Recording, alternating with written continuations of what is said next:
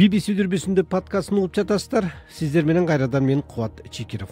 Батыштагы расмий жетекчилер украина армиясы контр чабуулга күчөтүлгөн даярдыкта турганын билдирүүдө. Киевден bbc кабарчысы джеймс ландейлдин кабарын уктурабыз.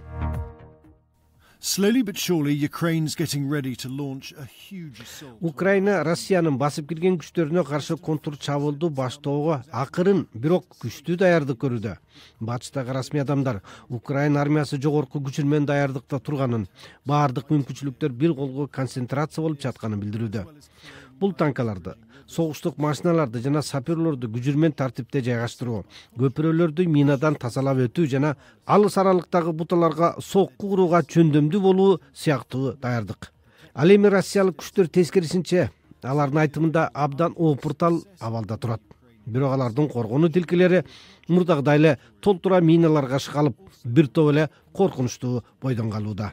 Ошондуктан расмий өкүлдөр украин чабуулу кандай гана болбосун анын ийгилиги аймактарды ээлеп алуу менен гана чектелбей президент путинди өзүнүн стратегиясын кайра карап чыкканга мажбурлай алабы кээ ошондо дешет алардын жүйөсүндө чек араны карай орус позицияларын жирип өткөн украин күчтөрүнө караганда кремльге когнитивдик таасир көрсөтүү маанилүүрөөк болуп турган убак